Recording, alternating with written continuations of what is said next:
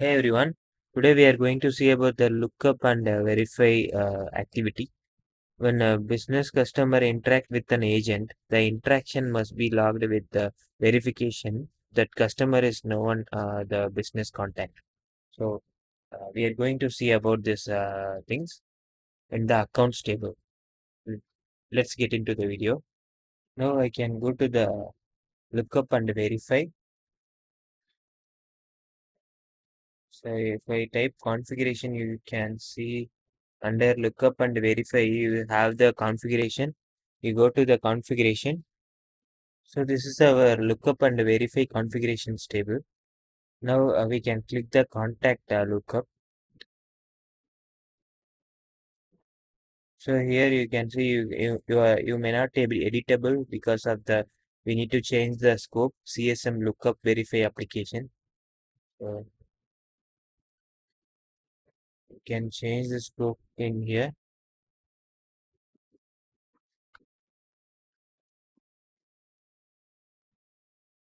again you can refresh this page so you can have this uh, access to uh, change the uh, table uh, data. So now you can override this uh, uh, the uh, type type head search as three. We can activate this now and say uh, save this. Before you can save, you need to uh, check the secondary fields as account. Uh, we need to change like uh, let me open it and uh, we can change like a business phone we can remove other things we keep email account business phone allowed so this is a business phone we can make it in here. We can lock it now. And then in the verification card uh, as well you can change uh, account email business phone and then uh, time zone. Other than that you can remove other things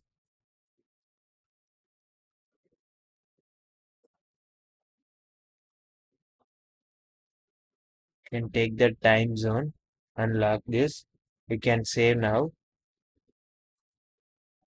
So each agent that serves B2B customer is a customer service support group member, so which uh, assigns them uh, the customer service agent, SN underscore customer service underscore agent. That is the role. Uh, the customer service agent role grants an agent access to the interactions and the related lookup and verify functionality. So we, uh, we just want to go to the groups. Let's go to the groups table.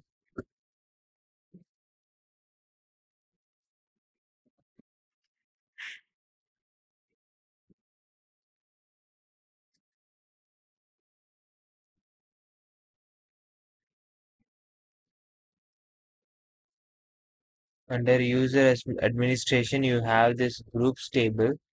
You can go to the to go go in here. In this group list, uh, you can search for uh, customer service support. So customer service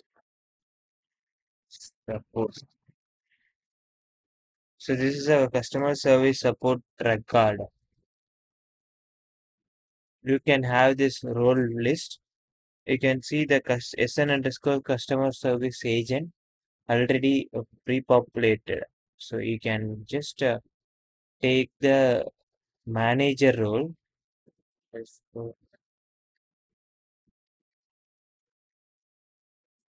Customer contact manager. This is the role we should need to mention it and you can save this.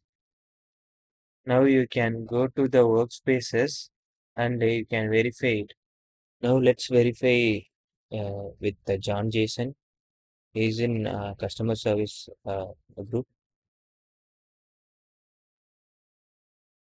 So we can impersonate him and we can go to the CSM configurable workspace. Click this new interaction. So the type as phone. Account can be anything uh, whatever we need to give we can give it. The contact robert Turner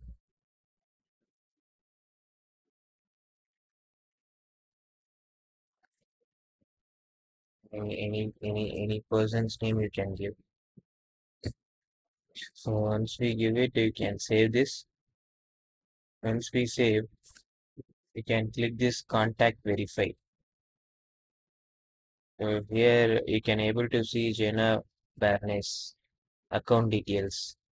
Account uh, so we have created we have created the uh, interaction so the details has been um, shown in this uh, contact verify. So we, whatever the uh, details we filled in here it, it will be populated in here as well. So you can verify and if we want to create this contact you can click this create contact.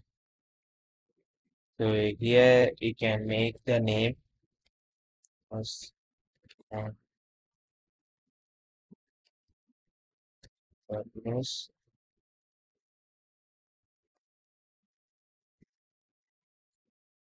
of management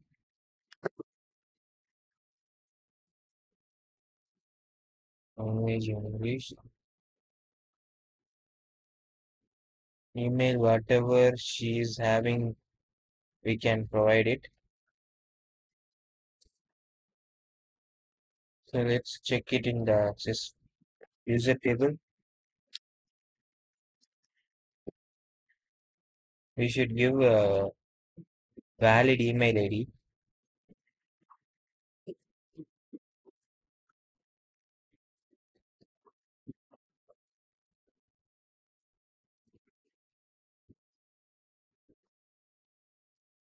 so once we give it you can uh, you can provide the you can save this one as well. And click dismiss all. So now you can see this has been verified. So that's how uh, we need to create the interaction in here. So that's how the lookup and verify is working. We will see you uh, in a different topic in the uh, next class. Thank you